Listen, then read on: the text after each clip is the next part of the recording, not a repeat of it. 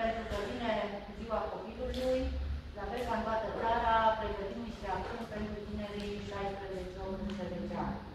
Intenția noastră este să mergem sigur în orașe, pentru că acolo sunt licee.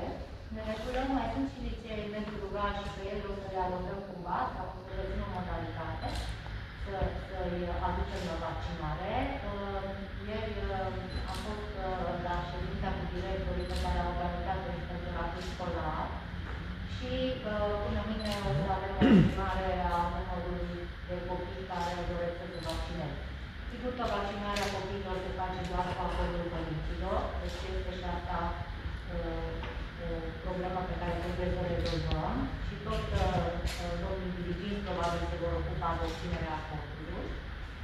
O să încercăm să facem să fie cât mai atractiv, cu muzică, să vedem cum ne organizăm, sperăm să avem cât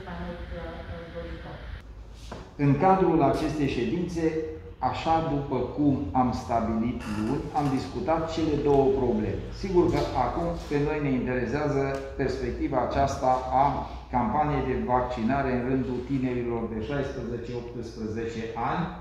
De aceea, noi încă de luni am transmis formularul acela prin care părinții să-și poată exprima acordul scris în toate unitățile de învățământ și am solicitat în cursul zilei de ieri ca până vineri să ne fie transmis din fiecare școală unde există acești tineri cu vârstele între 16 și 18 ani o inventariere a numărului de doritori care să se vaccineze.